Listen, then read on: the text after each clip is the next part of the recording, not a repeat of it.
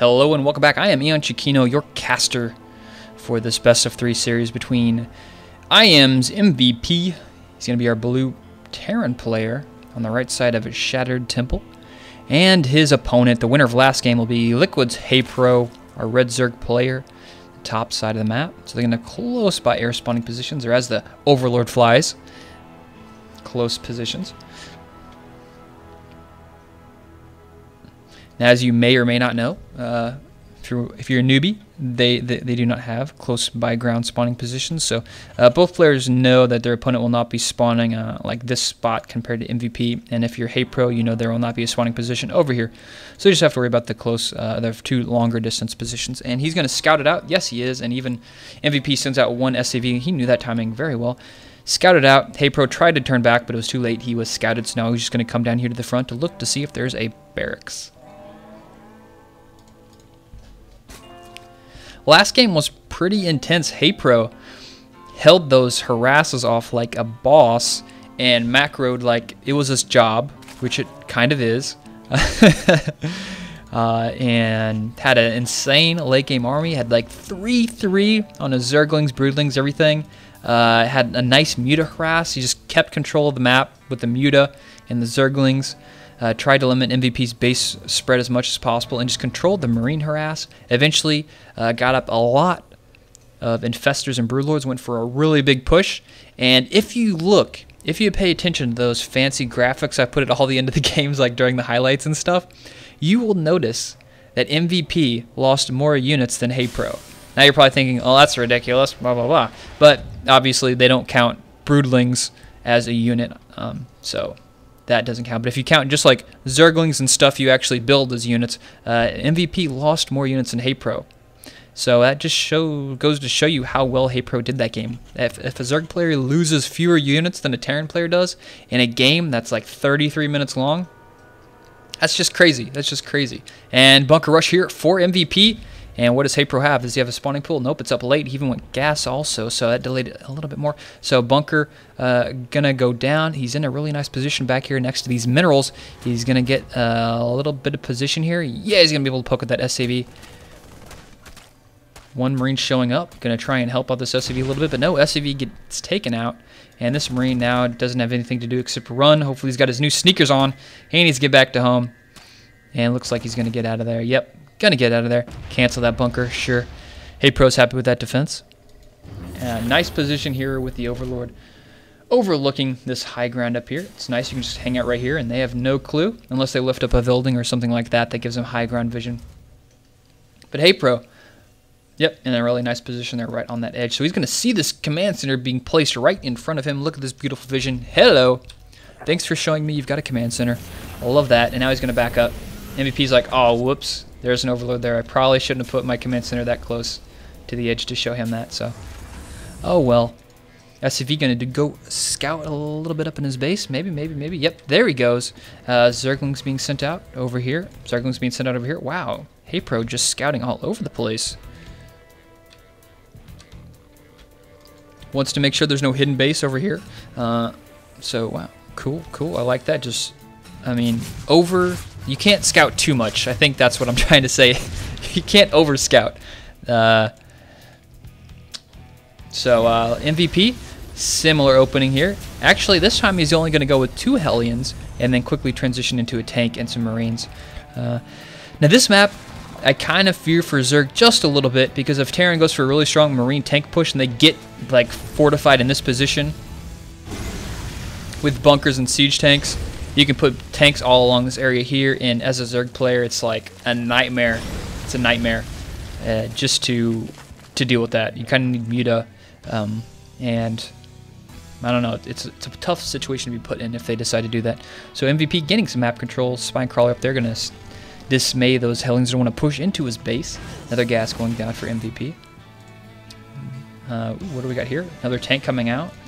Barracks going up. Already has that one reactor here on those Marines. So it's kind of looking like MVP is going to go for a uh, Marine tank push here. And if he brings along some SCVs for bunkers, that could be pretty deadly. We will see. We will see. Uh, MVP not even going to try and push in here. Just maybe pick off a creep tumor. Is he going to get it? Uh, doesn't look like it. Yep, it does finish. That queen, that queen is so proud of her little creep tumor. You're just the best little creep tumor ever. that horrible. I apologize. MVP now pushing out here. Going to take his expansion. Has some scouting supply depots. Loving it. Zerglings, just a couple. Maybe going to get another surround on these Hellions for a second game in a row. Oh no, slippery as butter. Those Hellions do sneak out of there, but he's probably going to get one.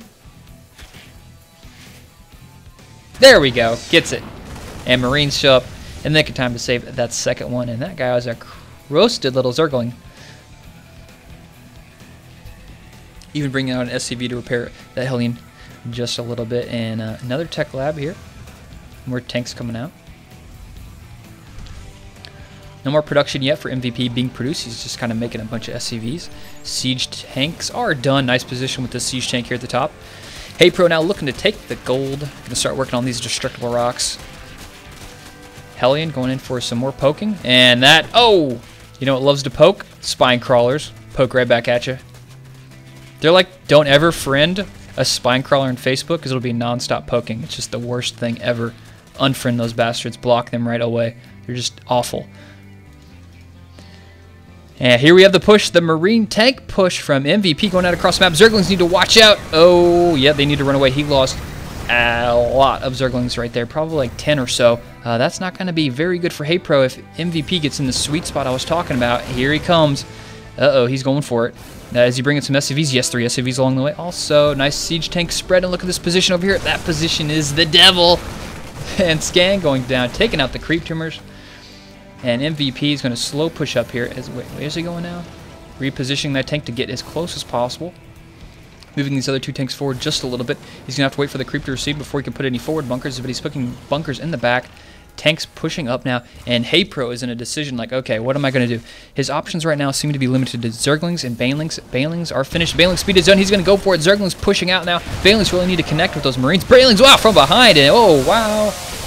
Cleaning it up. That's how you do it. That's how you do it.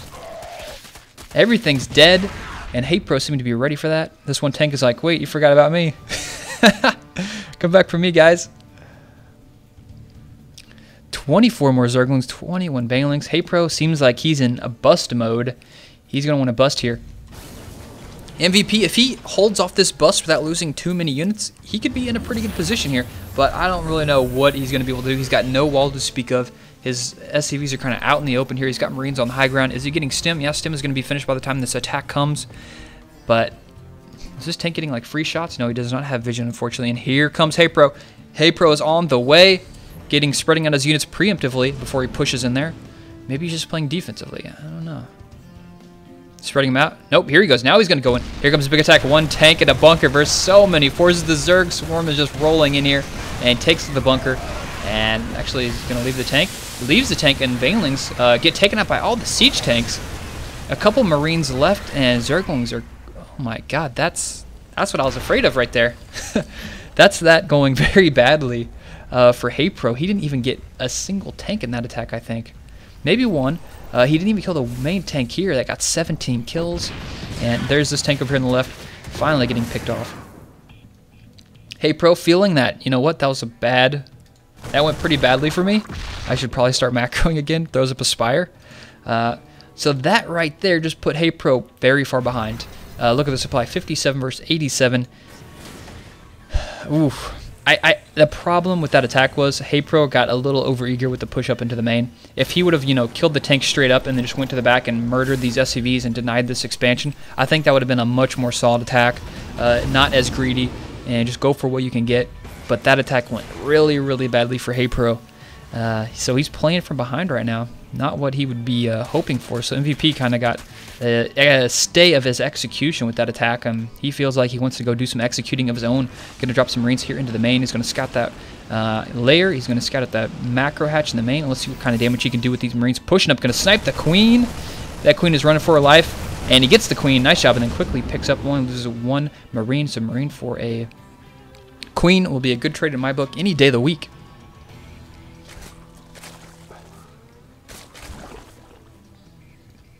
He scouts out the Spire. If he could kill a Spire right now, that would be awesome.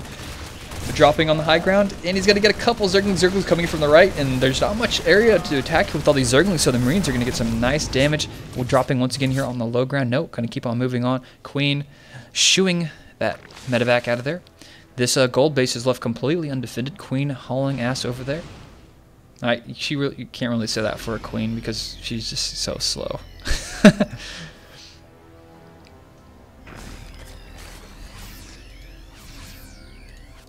Another push here from uh, MVP, just a little drop.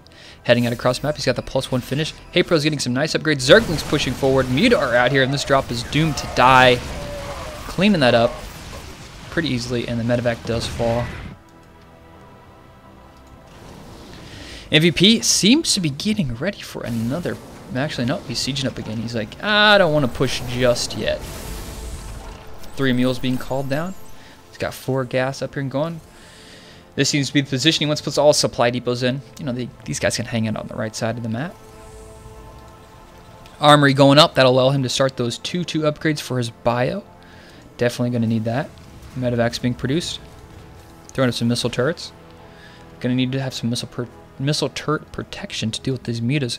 Uh, Haypro has shown a proclivity to go with a lot of mutas versus Terran. It worked pretty well for him last game, and this drop is going to get cleaned up. There it goes. The Muta are the uh, janitors of the Zerg army. They just love to clean stuff up. And here comes MVP's big attack. He's pushing forward just two Scout Marines. And these, meta, these uh, Muta need to watch out, scan forward. Looks like we're going to have tanks sieging up. Nice siege tank aligned there. Uh, where's he head to? Over here on the left. Those Marines getting a little close there and doing a lot of damage to those uh, Mutant. Here comes the big attack from Haypro. He needs to clean this up convincingly. There's not much AA over here on the right. Uh, he's going to go straight for the tanks and quickly going to back up. So sacrificing a couple Banelings, but did get two tanks there. But there's so many Marines pushing up here. He needs to have some more Banelings, a little low on the life, more reinforcements showing up. More Marines. Oh my god, the Muta just melting to the Marines. What is... Oh, just GGing right there. That's it. That puts MVP tied with Haypro 1-1. And uh, Haypro I'm uh, I'm thinking about this game.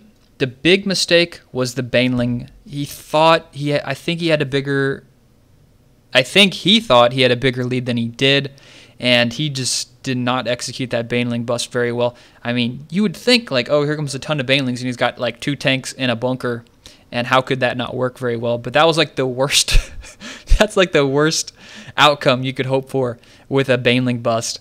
Um, there wasn't even really much to bust. All he had to kind of do was just kill the workers, and he would have had such a nice lead. But that went really bad for him there. And then after that, MVP would just made a bunch of Marines, macroed really well, played kind of straight up, and just pushed straight in. Haypro uh, didn't get a kill too much with those those Marine. Uh, didn't get a hit too many um, Marines with his Banelings there in that last attack, which could have went a little bit better too. Uh, but the first kind of attack where uh, the first push MVP did with his uh, three tanks and his Marines, like Haypro had Banelings from behind, he had stuff in the front, he was just ready for it. He just clomped down on MVP's army and just crushed that first attack. That was awesome. He had that played that so well. But after that, kind of was like, ooh, kind of bad. So uh, that'll tie us up here at 1 1. We'll move on into game number two. Quick, gonna plug my Twitter twitter.com slash Chiquino, and my YouTube. Subscribe to my YouTube channel to get more videos and strategy videos, all that good stuff. So uh, we'll head on into game number three coming up next.